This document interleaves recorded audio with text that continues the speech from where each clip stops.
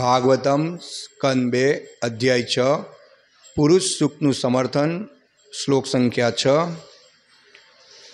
તાત્પર્ય अनुवाद भावार्थ श्री श्रीमदेशी भक्तिवेदांत स्वामी प्रभुवाद के द्वारा बाहवो लोक पा बाहवो लोकपालानां प्रायशः क्षेमकर्मणां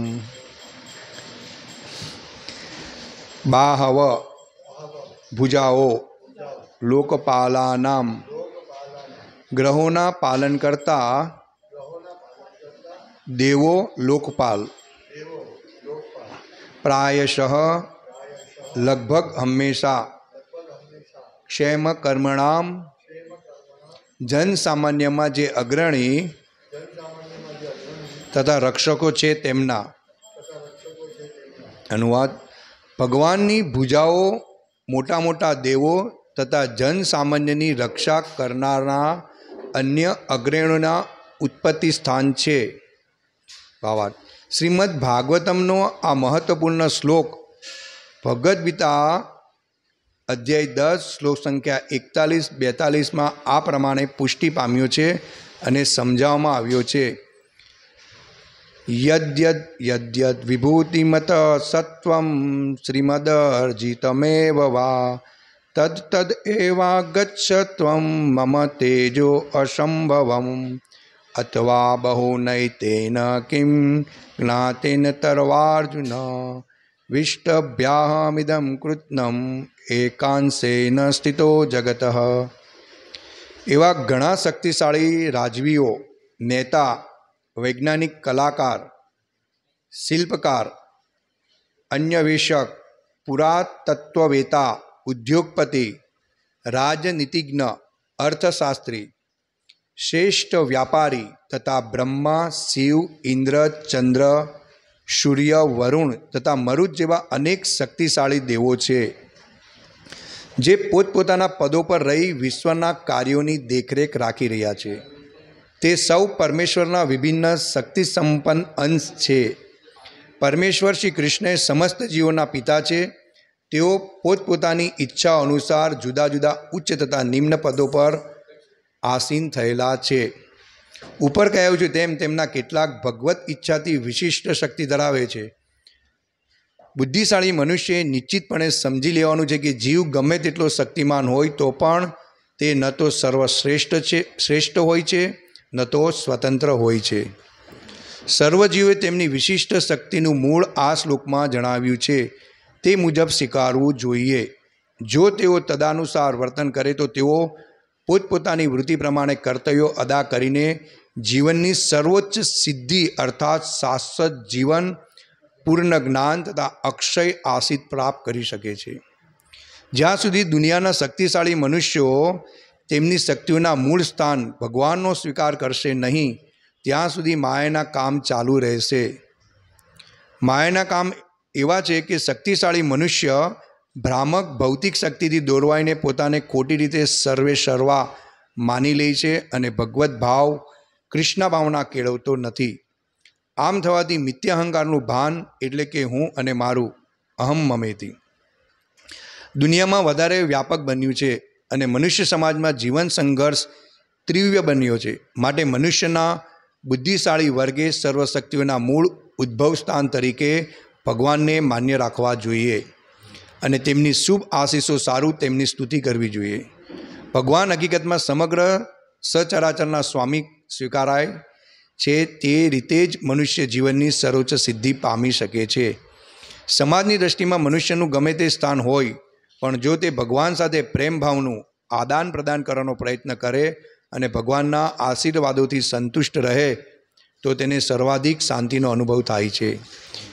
જેની તે જન્મ જન્માંતરની ઝંખના કરે છે. જ્યારે મન ભગવાનની દિવ્ય, પ્રેમમય ભક્તિમાં સ્થિત થાય છે, ત્યારે જ મનની શાંતિ મળી શકે છે. જેવી રીતે કોઈ મોટા ઉદ્યોગપતિના પુત્રો વહીવટી ચલાવવાની વિશિષ્ટ શક્તિવાળા હોય છે, તેવી રીતે ભગવાનના અભિન્ન અંશોને ભગવાનની સેવા ભક્તિ કરવાની વિશિષ્ટ શક્તિ મળેલી હોય છે. પિતાનો આજ્ઞાંકિત પુત્ર પિતાની ઈચ્છા વિરુદ્ધ કદી જતો નથી અને કુટુંબના વડા એવા પિતાની સંમતિથી પોતાનું જીવન શાંતિપૂર્વક પસાર કરે છે. તે રીતે ભગવાન પિતા હોવાથી બધા જીવોએ વફાદાર પુત્રો તરીકે પિતાની ઈચ્છા અને પિતા પ્રત્યેના કર્તવ્ય પૂરેપૂરા સંતોષકારક રીતે અદા કરવા જોઈએ. આ મનોવૃત્તિ સમાજમાં સત્વરે શાંતિ અને સમૃદ્ધિ લાવશે. ઓમ અજ્ઞાનતિમ્રદાન્યશ્ય જ્ઞાનામ જન સલાકયા ચક્ષુરુન્મિલિતમેન તસ્મૈ શ્રી ગુરુવે નમઃ. नमो विष्णुपादाय कृष्णपृष्ठाय कृष्णपृष्ठय पितले श्रीमदेभक्तिविकाशस्वामि महाराज इति नमने। नमो विष्णुपादाय कृष्णपृष्ठाय भूतले श्रीमद्भक्तिवेदान्त स्वामी इति नमने। नमस्ते सारस्वते देवे गौरवाणी प्रचारिणी गौरवाणि प्रचारिणि वन्दे अहं श्रीगुरुः श्रीवितपदकमलं श्रीगुरुन् वैष्णववाच श्रीरूपं साग्रजातं सहगणरघुनाथावितं तं सजीवनं साद्वैतम सावधूतम परिजन सहित कृष्ण चैतन्य देवम श्री राधा कृष्ण पादान सहगण ललिता श्री विशाखाता नच हे कृष्ण करुणा सिंधु दीनबंधो जगतपते, गोपेश गोपिका कांतम राधा कांतम नमस्तुते। तप्त कांचम गौरांगी राधे वृंदावनेश्वरी वृषभानुसुते देवी प्रणमा हरिप्रिय। वाचा कृपा सिंधुमेव च કલ્પતરુભસ્ય કૃપા સિંધુભેવ ચ પતિતાનામ પાવનેભ્યો વૈષ્ણવેભ્યો નમો નમઃ શ્રી કૃષ્ણ ચૈતન્ય પ્રભુ નિત્યાનંદ શ્રી અદ્વૈત ગદાધર શ્રીવાસાદિ ગૌર ભક્તવૃંદ હરે કૃષ્ણ હરે કૃષ્ણ કૃષ્ણ કૃષ્ણ હરે હરે હરે રામ હરે રામ રામ રામ હરે હરે કૃષ્ણ તો શ્રીમદ ભાગવતમનું આપણે શ્રવણ કરી રહ્યા પુરુષ સુખનું સમર્થન, ભગવાનની સ્તુતિ। આના પાછળના શ્લોકમાં આપણે જોયું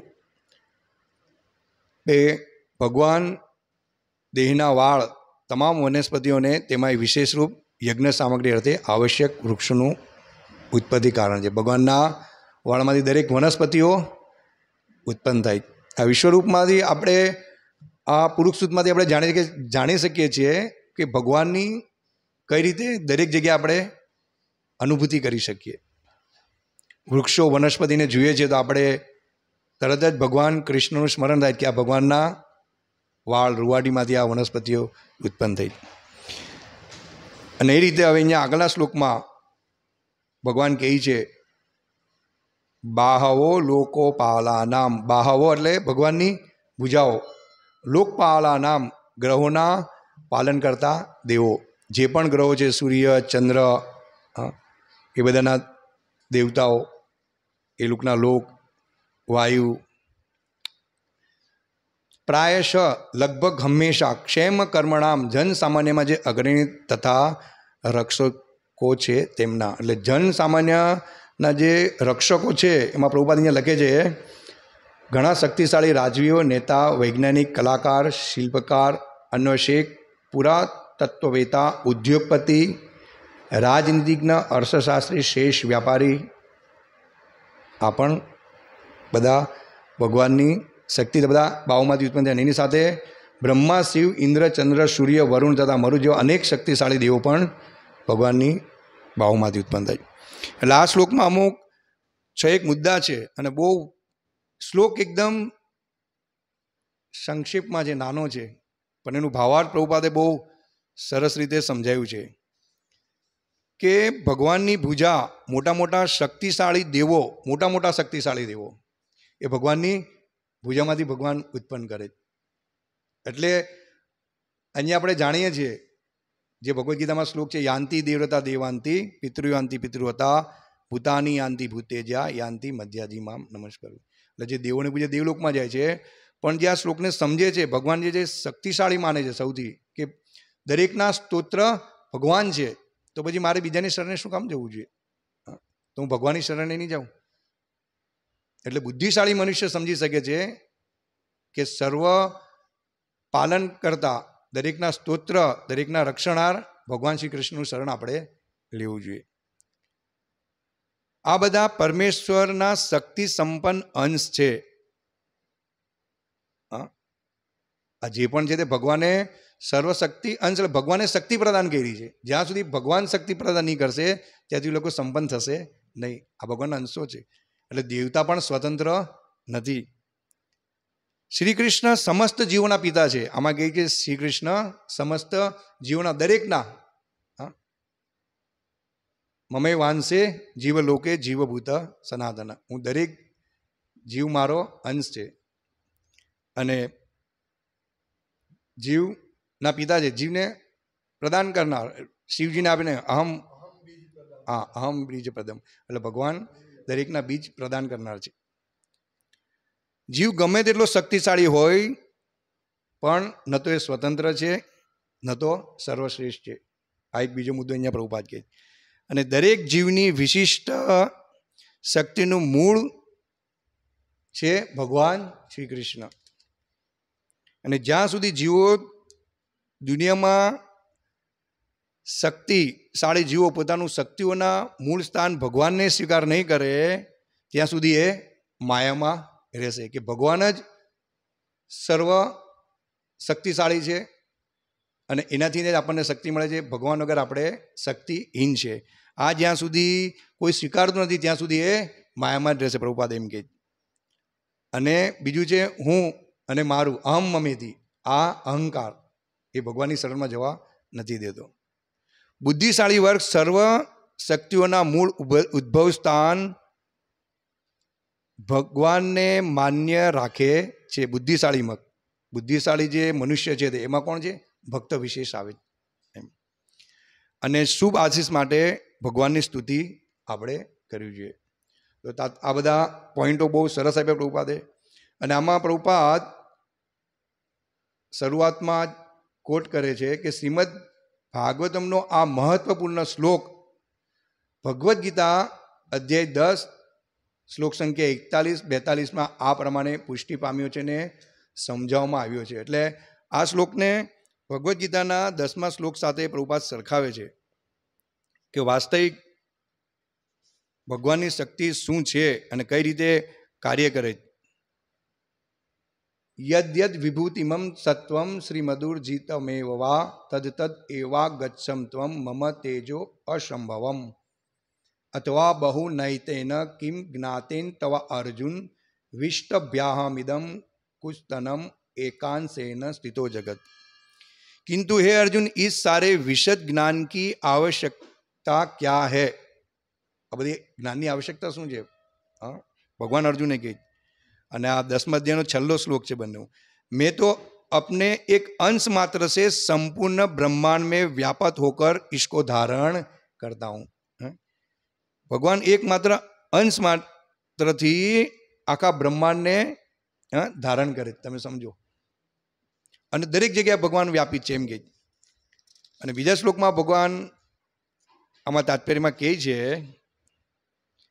तुम जान लो कि सारा ऐश्वर्य सौंदर्य तथा तेजस्वी सृष्टिओ मेरे तेज के एक स्पुलिंग मात्र से ઉદ્ભવ હોય ભગવાનના એક સ્પુલિંગ એટલે અગ્નિમાંથી એક જે તણખલું બહાર નીકળે છે એને સ્પુલિંગ કહે એક બધા બહુ બધા તણખલા નીકળે તો એવા ભગવાનના એક તણખલા માત્રથી આ બધું વ્યાપી છે તમે વિચાર તો ભગવાનની કેટલી અત્યંત શક્તિઓ હશે અને આજના વૈજ્ઞાનિકો સાયન્ટિસ્ટો કહે જ કે આ બધું અમે કરી રહ્યા પણ ભગવાન જ્યાં સુધી એને બુદ્ધિ નથી આપતા અને શક્તિ નથી આપતા, ત્યાં સુધી એ કંઈક કરી શકવા શક્તિમાન નથી.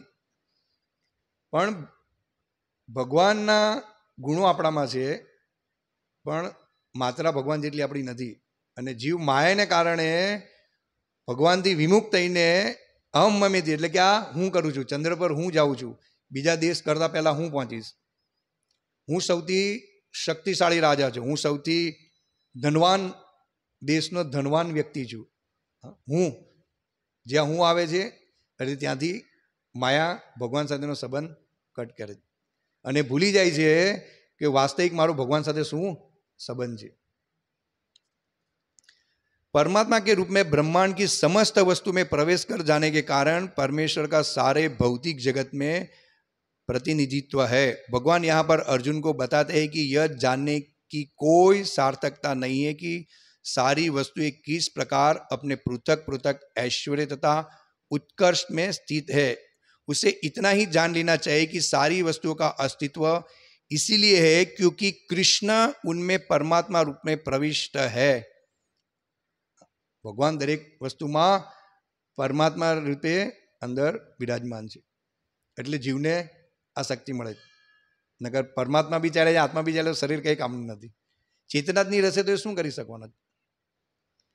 અને એ માટે આ બધું વિદ્વમાન છે. જે પણ ગ્રહ છે, હા, દેવો છે, આ બધાને પરમાત્મા અને ભગવાન કૃષ્ણ દ્વારા પરમાત્માનું જે ભગવાનનું જે રૂપ છે તે દ્વારા બધી શક્તિ પ્રદાન અને એની રીતે આ બધું વ્યાપક છે. ક્યુંકિ કૃષ્ણ પછી કહે છે प्रभुपाद ब्रह्मा जैसे विराट जीव से लेकर एक शुद्र चीटी तक इसलिए विद्वान है क्योंकि भगवान उन सबसे प्रविष्ट होकर उनका પાલન કરતે હૈ એટલે દરેક વસ્તુ ભગવાન પર ટકેલી એ કીડી હોય બ્રહ્માજી હોય મનુષ્ય હોય વનસ્પતિ હોય ગ્રહો હોય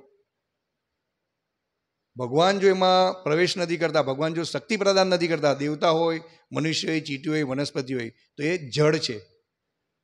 એનામાં કોઈ શક્તિ નથી. પણ જ્યાં સુધી ભગવાન એમાં પ્રવેશતા નથી, ત્યાં સુધી જળને ભગવાન પ્રવેશે ત્યાર પછી એ ચેતન થાય. એટલે ભગવાન કે બુદ્ધિમાનની બુદ્ધિ હું છું. એટલે ખરેખર બુદ્ધિમાન મનુષ્યએ ભગવાનનો સ્વીકાર કરવો જોઈએ. પણ જો બુદ્ધિમાન મનુષ્યને ભગવાનને સાઈડ પર મૂકીને અમ અમિતિ કરે છે, તો એ બુદ્ધિશાળી નથી. બુદ્ધિશાળી છે જે, જેની પાસે આધ્યાત્મિક જ્ઞાન છે. એટલે અહીંયા પ્રભુપાદ લખે છે કે બ્રહ્મા, શિવ, ઇન્દ્ર, ચંદ્ર, સૂર્ય, વરુણ તથા મરુ જેવા અનેક શક્તિશાળી દેવો છે જે પોતાના પદો પર વિશ્વના કાર્યોની દેખરેખ રાખી રહ્યા છે. એટલે ભગવાને બધાને દેખરેખ રાખવા માટે સત્તા પ્રદાન કરી. જે રીતના દેશના રાજા હોય ને દરેકને આપણે આગળ ઘણીવાર એની ચર્ચા કરી કે અલગ અલગ સ્થાન આપે છે બધાને. કોઈને ફાઇનાન્સ ડિપાર્ટમેન્ટ કોઈને ખેતીનું ડિપાર્ટમેન્ટ કોઈને સિક્યુરિટીની ડિપાર્ટમેન્ટ પોલીસને. પણ એ રાજા એ રીતે બધાને ડિપાર્ટમેન્ટ આપે કે આનું તમે સંચાલન કરો. પણ આ ભૌતિક વસ્તુ થઈ, પણ ભગવાન છે તે ડિપાર્ટમેન્ટ આપ્યા પછી પણ જેનું પાલન નથી થતું, જેમ ઇન્દ્ર ભૂલી ગયા હતા, ગોવર્ધનમાં એની પૂજા બંધ કરી દીધી. ગોપ બાળકો, હા નન મહારાજ ઇત્યાદિ. અને ભગવાને કીધું, તમે ગોવર્ધનની પૂજા કરો. અને ઇન્દ્ર ભૂલી ગયા કે આ કૃષ્ણ છે તે સ્વયં પૂર્ણ પુરુષોત્તમ શક્તિશાળી પુરુષ છે અને સ્વયં ભગવાન છે. અને પછી એ વરસાદની પુષ્ટ, આમ જોરદાર મુસળધાર વરસાદ કરે છે કે હું આ ગામને ડૂબાઈ દઈશ ગોકુળને ઇત્યાદિને. અને પછી ભગવાન ગોવર્ધન ધારણ કરે, પછી ઇન્દ્રને ખબર પડે કે આ તો શક્તિશાળી સ્વયં ભગવાન છે અને ભગવાન પછી, એટલે ભગવાનની બધી લીલા હોય છે. તો આ રીતે જે ઇન્દ્ર બ્રહ્મા ભગવાન જ્યારે કારાવાસમાં જન્મ લે છે અને આ જ દેવતાઓ ત્યાં સ્તુતિ કરવા જાય કે ભગવાન સ્વયં પ્રગટ થવાના અને પાછા ભગવાન માયાથી આવરણ ઢાંકીને એ કરી નાખે એટલે બ્રહ્માજી પણ ભૂલ કરી નાખે બધા ગોપ બાળ ગોપ બાળકોનું અપહરણ કરી લે પણ જે સતત ભગવાનના શરણમાં છે, ચિંતનમાં છે અને જે સ્વીકારે છે કે હું ભગવાનનો દાસ છું ભગવાન સ્વયં પરમાત્મા રૂપે હંમેશા એની સાથે એટલે આ દેવતાઓ પણ આવી ભૂલો કરે છે, વિચાર કરો. અને આપણને આ પ્રભુપાદે કેટલું સરસ ભક્તિ, જ્ઞાન ઇત્યાદિ આપ્યું છે કે આપણે સમજી શકીએ છીએ કે ભગવાનની શક્તિ કઈ રીતે કામ કરે દરેક રીતે. અને આપણે પણ માયામાં હોવા આવીએ છીએ. આ દેવતા આવી જાય તો આપણે પણ આવી જાય. ઘણીવાર આ સેવા હું કરીશ, પેલી સેવા હું કરીશ. જ્યારે આપણો જન્મ જ સેવા માટે થયેલો છે, ભગવાન કૃષ્ણની માટે, અને જ્યારે આપણે સેવાથી દૂર ભાગીએ છીએ, એટલે માયા આપણા પર પ્રભાવ નાખે. છતાં પણ ભક્તો ભાગ્યશાળી છે કે કૃષ્ણના ચરણ કમળ પકડીને રહે. ભલે સેવાથી ક્યારેક દૂર થઈ જશે, પણ છતાં પણ એનું ગોલ છે, ધ્યેય છે, કૃષ્ણ પ્રેમ પ્રાપ્ત કરો. એટલે આ રીતે ભગવાન પોતાની શક્તિનો વિસ્તાર કરે છે, ભગવાનની શક્તિ વગર કંઈ જ થવાનું નથી. એ દેવતાઓ છે, નેતાઓ છે રાજવીઓ છે, શક્તિશાળી છે, ગમે તે પ્રગતિમાં આગળ પ્રગતિ કરવા માંગશે, પણ જ્યાં સુધી લોકો એમ કહેશે કે અહમ અમેથી અને અમે બહુ પ્રગતિ કરીશું અને લોકો સુખી થશે, તો આ લોકો સુખી થશે નહીં. ને ભગવાન કે જે બુદ્ધિશાળી મનુષ્ય નિશ્ચિતપણે સમજી લેવાનું છે કે જીવ ગમે તેટલો શક્તિમાન હોય તો પણ તે ન તો સર્વશ્રેષ્ઠ હોય છે, ન તો સ્વતંત્ર હોય છે. ગમે એટલી શક્તિશાળી જીવ હશે, ગમે તે દેશનો રાજા હશે ગમે એટલા દેવતા શક્તિશાળી હશે, પણ જો એમ સમજે છે કે હું સ્વતંત્ર છું, હું સર્વશ્રેષ્ઠ છું, જેમ ઇન્દ્રનો આપણે બ્રહ્માનો દાખલો લીધો, એમને એમ લાગ્યું કે હું સર્વશ્રેષ્ઠ છું હિરેને કશ્યપુ બધા લઈ લો અસુરો, કે મને ભગવાન માનો, કે હું સર્વશ્રેષ્ઠ છું, પણ સર્વશ્રેષ્ઠ કોઈ પણ જીવ નથી નથી સ્વતંત્ર. સર્વજીવે તેમની વિશિષ્ટ શક્તિનું મૂળ આ શ્લોકમાં જણાવ્યું છે. દરેક જીવની જે શક્તિ છે, અસુરો પાસે હોય, દરેક મનુષ્ય પાસે હોય, દેવતાઓ પાસે હોય કે દરેક જીવ પાસે હોય, વનસ્પતિ પાસે હોય, જે પણ યોનિઓ જે ચોર્યાસી લાખ. તો ભગવાન કહે છે કે સર્વ જીવોની તેમની વિશિષ્ટ શક્તિનું મૂળ આ શ્લોકમાં જણાવ્યું તે મુજબ સ્વીકારવું જોઈએ. આ શ્લોકમાં જેમ સ્વીકાર્યું છે, તે મુજબ એને સ્વીકારવું જોઈએ. કોણ કે આ મારી પાસે જે પણ કંઈ શક્તિ છે, જે પણ મારી પાસે જ્ઞાન છે, જે પણ કંઈ હું ઉપયોગ કરી રહ્યો છું ભગવાનની સેવામાં કે કંઈ ભૌતિક કાર્યમાં, એ દરેકની શક્તિનું મૂળ કોણ છે?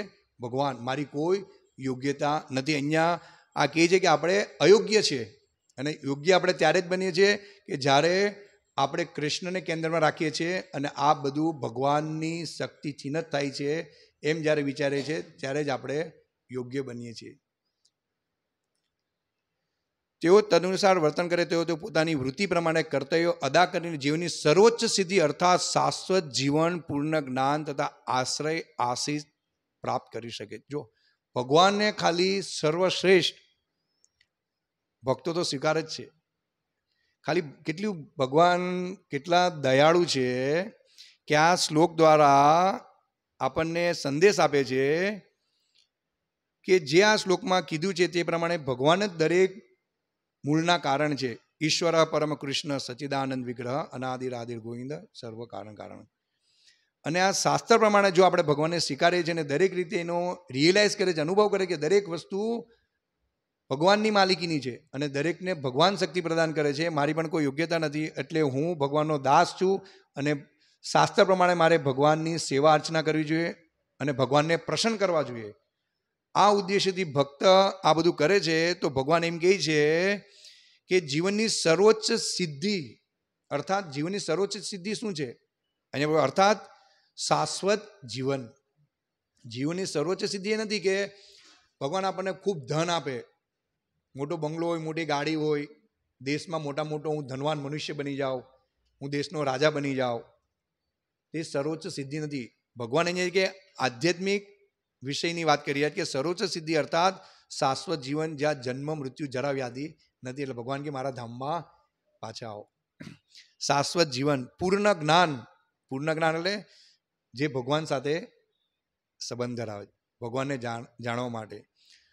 ભાગવતમમાં આપણે આગળ શ્લોક હતો, નારાયણ પરાયોગો નારાયણમ પરમ તપ, નારાયણમ પરમ જ્ઞાનમ નારાયણમ નારાયણમ પરાગતિ એટલે જે પણ કંઈ કરે છે આપણે, નારાયણ માટે કરવું જોઈએ અને છેલ્લી આપણી જે ગતિ છે, જીવનની, તે નારાયણમાં થયું છે, ભગવાનના ધામમાં જવા માટે. એટલે પૂર્ણ જ્ઞાન તથા અક્ષય આસિત પ્રાપ્ત કરી શકીએ છીએ. અક્ષય આસિત.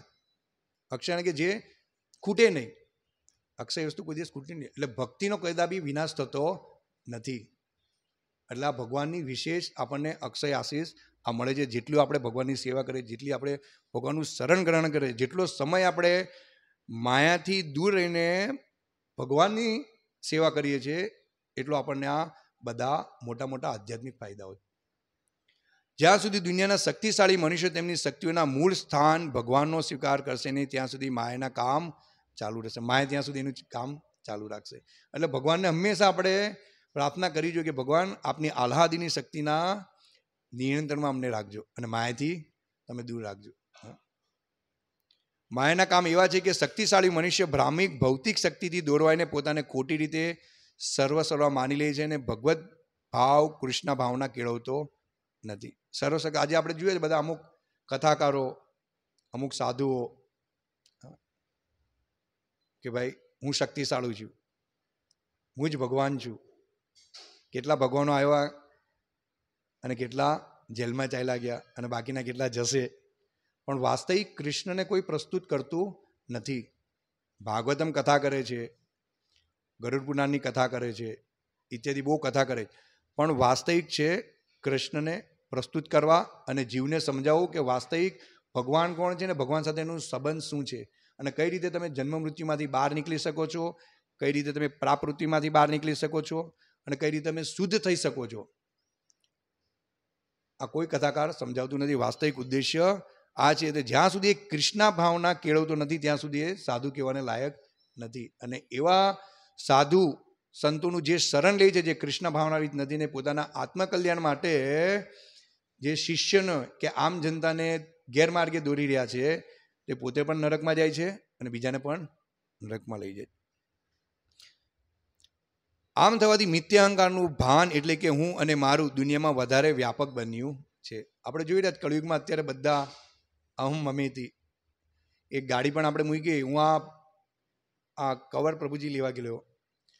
તો મને કે બહુ દિવસ થઈ ગયા. આજે તો લાવું જ છે. તો બે ચાર જગ્યાએ તપાસ કરી. સંજયભાઈને પણ કીધું કે નથી. પછી મને કે આજે હું લંબે હનુમાન રોડ જઈને લઈ આવીશ. ત્યાં આજે મળે છે. તો હું ઓફિસથી છૂટ્યો અને રાતના સીતાનગરના બ્રિજ પરથી ગયો, ત્યાં મેટ્રોનું કામ ચાલુ હતું. મેં પેલા બીજું લાઈન ચાલુ છે. એટલે થાકેલો હતો. મેં વટી જાઉં અહીંથી પાછો, પછી બીજી વાર લઈ લઈશ.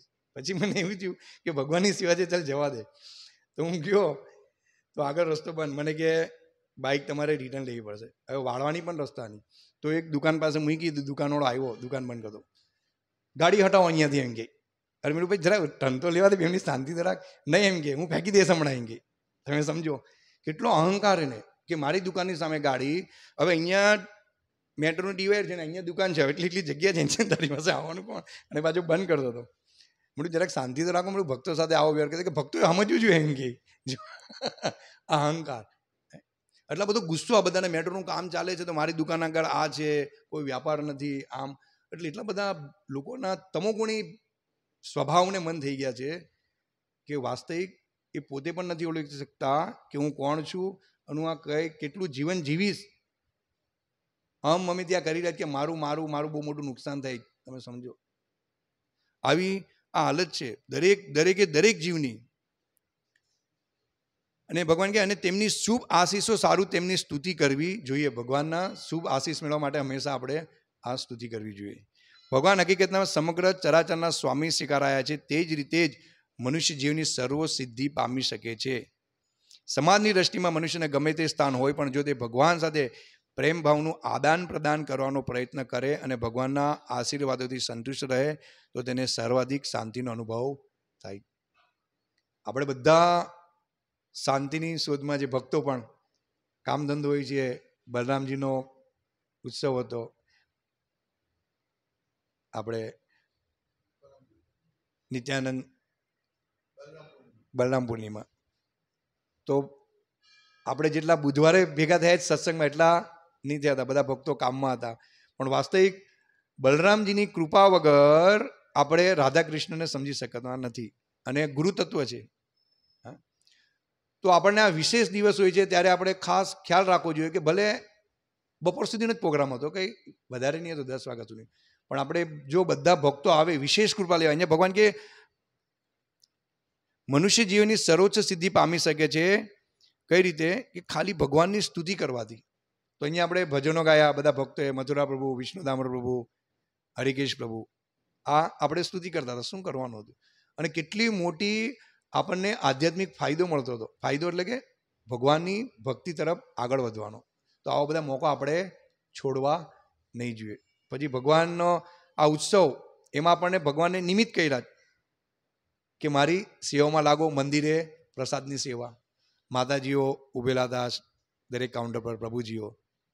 હું આ બધું રિયલાઇઝ કરું કે આ ભગવાન જે વૈકુંઠમાં ગોલોકમાં જે ભગવાનની સેવા કરવાનો જે બધાને મોકો મળ્યો છે અને ત્યાંથી આપણે ભોગ કરવાની વૃત્તિથી પાછા અહીંયા ટપક્યા છે અને અહીંયા જ પાછું આપણને એ જ જ્ઞાન પ્રાપ્ત થાય છે કે કઈ રીતે ભગવાનની સેવામાં સમય આપો, કઈ રીતે ભગવાનનો પ્રેમ પ્રાપ્ત કરો અને પાછા આપણે જ્યાં હતા ત્યાં જઈએ.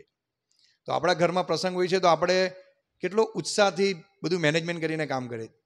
તો આપણે પીરે છે, ઓ, આ ભગવાન બલરામજીનો જયંત આપણે કોઈ પણ ભૂખા નહીં જાય, દરેક લોકો વ્યવસ્થિત પ્રસાદ લે, હું કેટલી વધારે સેવા કરું? હા. એ રિયલાઇઝ હું કરતો હતો. એટલે આ રિયલાઇઝથી આપણે કરશું ને, તો આપણે સેવાથી કદા પણ દૂર નહીં થશું. ભગવાન આપણા પર બહુ પ્રસન્ન થશે. એમ. તો આવા ઉત્સવ આપણે લેવો જોઈએ. ખાસ કરીને ભગવાન કહે છે કે, મારા આશીષ માટે આપણે સ્તુતિ કરવી જોઈએ. અને બુદ્ધિશાળી મનુષ્યનું કામ આ છે. અને આપણે તો ભક્ત છીએ. ભક્તે કદા પણ સેવાથી દૂર થવું જોઈએ. નહીં દરેક જગ્યાએ કૃષ્ણની શક્તિનો, ભગવાનની ભક્તિનો, દરેક જગ્યાએ કૃષ્ણ છે એનો અનુભવ આ રીતે આપણે કરવો જોઈએ. આ ધીરધામ રૂપ આજે લાવ્યા ત્યાંથી ભાગવતમ. પણ કેટલી સરસ એને સેવા કરી. એમાં ખાલી આપણે એક વિચાર અંદર ઉમેરીએ કે આ સેવા મને મળેલી છે. શ્રીમદ ભાગવતમ જે આ બાર દસ કનનું દસ બોક્સ લાવ્યો છે, આ દસ જીવોનું કલ્યાણ કરનારું છે, આ દરેકના ઘરમાં જવાના છે, એ ક્યાં પહોંચશે મને ખબર નથી, પણ મારી એક સેવાથી આ દરેક દસ જીવ છે તે વાંચીને ભગવાનના ધામમાં જઈ શકે છે. હા, કેટલી મોટી સેવા. તો આ રીતે આપણે ભગવાનની સેવાનો આનંદ પ્રાપ્ત કરીએ. નગર આપણું મન શું કરે છે, જો આપણે આપણે ઘણીવાર રજોગુણ, તમોગુણમાં એવા વિચારો આવી જાય છે આ ભક્તોના સંગથી. અને ભક્તોના પણ અમુક એવા સ્વભાવ હોય જેના સંગથી આપણને આ બધા વિચારો આવે ક્યાં કરવું, નહીં કરવું એમ. પણ એ ભક્તે રિયલાઇઝ કરવાનું છે કે કૃષ્ણ સેવાથી મારે દૂર થવું નથી. અને કોઈ ભક્ત આપણને ગાઈડન્સ કરતું હોય કે આ કરો, નહીં કરો, તો આપણે એને સમજાવ્યું છે કે ના પ્રભુજી, આ તો ભગવાનની સેવા છે. આ હું છોડીશ નહીં. આનાથી મારે વંચિત નથી રહેવાનું. એટલે આપણે હંમેશા ભગવાનને પ્રાર્થના એ માટે જ કરી કે ભગવાન તમારી સેવાથી કાદી મેને વંચિત નહીં રાખતા. અને આપણે હરે કૃષ્ણ મહામંત્ર જે માટે કરીએ કે ભગવાન આપણને એની સેવામાં લગાડે. આ કેટલી મોટી સેવા છે? આ કોઈ સાધારણ સેવા નથી. આ રીતે તમે રિયલાઇઝ કરશો તો આપણે સેવામાં વધારે વગાડતા આપણે પ્રગતિ કરીશું અને ભગવાનને પ્રસન્ન કરીશું. અને એ રીતે બીજાના આપણો સંગ બીજાને મળશે આ રીતનો વગર દ્વેષ, ઈર્ષાનો એ ભક્તની પણ પ્રગતિ થશે અને આપણી પણ પ્રગતિ થશે.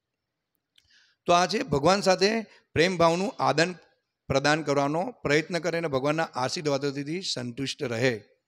અહીંયા રૂપાટ લખે છે કે સમાજની દ્રષ્ટિમાં મનુષ્યને ગમે તે સ્થાન હોય પણ જો તે ભગવાન સાથે પ્રેમ ભાવનું આદાન પ્રદાન કરવાનો પ્રયત્ન કરે અને ભગવાનના આશીર્વાદોની સંતુષ્ટિ રહે, તો તેને સર્વાધિક શાંતિનો અનુભવ થાય છે. એટલે આપણને અશાંતિ રહી છે એનું કારણ એ છે કે આપણે સેવાથી દૂર જાય અને આપણે આપણે ભક્ત છે, સૌથી બુદ્ધિશાળી વ્યક્તિ છે આપણે. બ્રાહ્મણથી બળ સર્વશ્રેષ્ઠ. વૈષ્ણવ છે આપણે.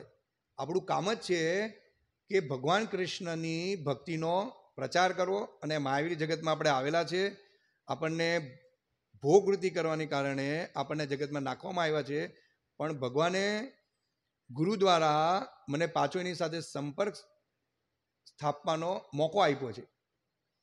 અને મારો ઉદ્દેશ્ય છે કે કઈ રીતે હું આ ભગવત ભક્તિમાં આગળ વધું અને ભગવાનનો પ્રચાર યથારૂપ કરું, જેનાથી હું કદા પણ વંચિત નહીં રહું, દૂર નહીં રહું અને અશાંતિ નહીં અનુભવું. અને આ રીતે આપણે વિચાર કરીશું, આ રીતે ભગવાનની સેવા કરીશું તો આપણને શાંતિનો અનુભવ થાય. ગમે એટલો તમને થાક લાગેલો હશે, પણ તમે ઊભા થઈ જશો. બીજો ભક્ત શું કરે છે, આ શું કરે છે? ભક્ત બધા વ્યવસ્થિત છે. કૃષ્ણની સેવામાં છે. પણ એને કઈ રીતે લગાડો એની રીતે એનાથી આપણને શું શીખવું, કયા ભક્તિ આપણને શું માર્ગદર્શન મળે છે? માર્ગદર્શન એટલે કે આ શાંતિ કે આપણને ત્યાંથી સારું માર્ગદર્શન મળે ને કઈ રીતે ભગવાનની સારી રીતે સેવા કરી શકું. એ આપણે ગ્રહણ કરવું જોઈએ. જેથી કરીને આપણને આ મનની શાંતિ તો જ મળશે, નકર આપણને મનની શાંતિ મળશે નહીં. નકર આપણે દ્રેશમાં જ રહ્યા કરશું કે આ કોઈ બીજા કરશે, પેલો કોઈ બીજા કરશે, હું આ સેવા કરું, તે કરું. હા, ભક્ત કદાચ થાકી જાય છે, તો બીજા ભક્ત સાથે શાંતિથી વિચારણા કરીને એ કરી શકે છે. તો આ રીતે કેટલો મોટો સમુદાય છે આપણો આ ભક્તિનો, હા. શિક્ષા ગુરુ મળેલા છે માર્ગદર્શન માટે, ગુરુ છે પ્રભુપાત છે, શાસ્ત્ર છે. અને આ દ્વારા આપણે ભગવાન સાથે આદાન પ્રદાન કરી શકીએ. ભક્તો હશે તો જ આપણે ભગવાન સાથે આદાન પ્રદાન કરી શકીશું. ભક્તો વિના આપણે આદાન પ્રદાન કરી શકીશું નહીં. જેની તે જન્મન જન્માંતરની ઝંખના કરે છે. આપણી જન્માન જન્માંતરની ઝંખના એ જ છે કે ભગવાન સાથે આપણો પુનઃ સંબંધ પાછો સ્થાપિત થાય. આપણી જન્માન જન્મની ઝંખના છે. પણ માયાના પ્રભાવને કારણે અનાદિકાળથી આપણે ભગવાન સાથેનો આપણો સંબંધ ભૂલી ગયા છે. એટલે આપણને આ ઝંખનાની વેલ્યુ નથી.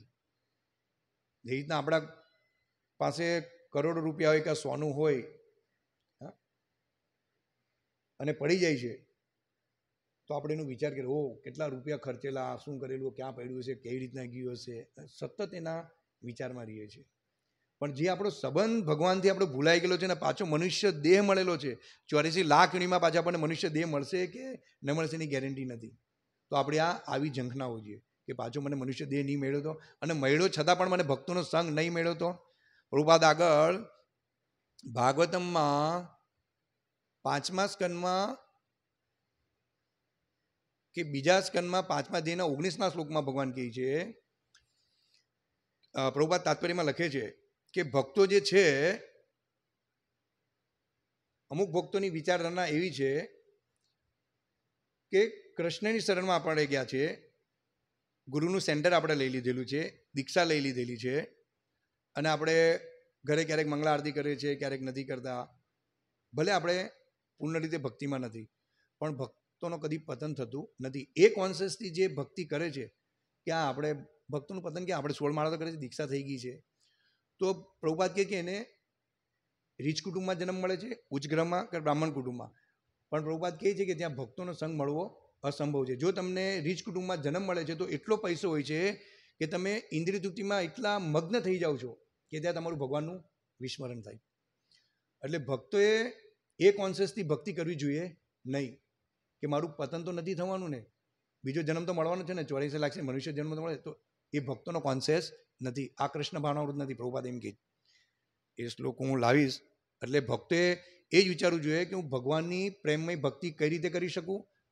ભગવાન મને જ્યાં પણ રાખે ઉચ્ચ ગ્રહમાં રાખે નિજગ્રહમાં રાખે, જ્યાં પણ, એ ભગવાનની ઈચ્છા. મારું કામ છે કૃષ્ણને સંતુષ્ટ કરવાનું અહૈતુકિક અપ્રતિહતા. તો આ ભક્તોનો કોન્સન્સ હોવો જોઈએ. પછી પ્રભુપાદ અહીંયા છેલ્લું ઉદાહરણ આપે છે કે પ્રેમય ભક્તિમાં સ્થિત થાય, મન ઝંખના કરે છે. જ્યારે મન ભગવાનની દિવ્ય પ્રેમય ભક્તિમાં સ્થિત થાય છે, ત્યારે જ મનની શાંતિ મળી શકે છે. આપણે દરેક લોકો શાંતિ માટે, પણ જ્યાં સુધી આપણું મન ભગવાનની દિવ્ય પ્રેમય ભક્તિમાં સ્થિત નથી થયું, ત્યાં સુધી મનની શાંતિ મળી શકશે નહીં. જેવી રીતે કોઈ મોટા ઉદ્યોગપતિના પુત્રો વહીવટ ચલાવવાની વિશિષ્ટ શક્તિશાળી હોય છે તેવી રીતે ભગવાનના અભિન્ન અંશોને શ્રી શ્રી રાધા શ્યામચંદ્ર ભગવાનની. ભગવાનની સેવા ભક્તિ કરવાની વિશિષ્ટ શક્તિ મળેલી છે. આપણે ભગવાનના અંશ છે, એટલે ભગવાન દ્વારા આપણને શક્તિ મળેલી. છે વિશેષ શક્તિ આપણને ભગવાને પ્રદાન કરી છે.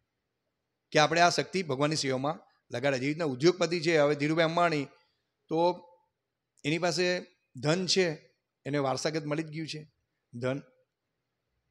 એ રીતના આપણે ભગવાનના અંશ છીએ અને અંશ હોવાને કારણે આપણને ભગવાને વિશિષ્ટ શક્તિ પ્રદાન કરી છે.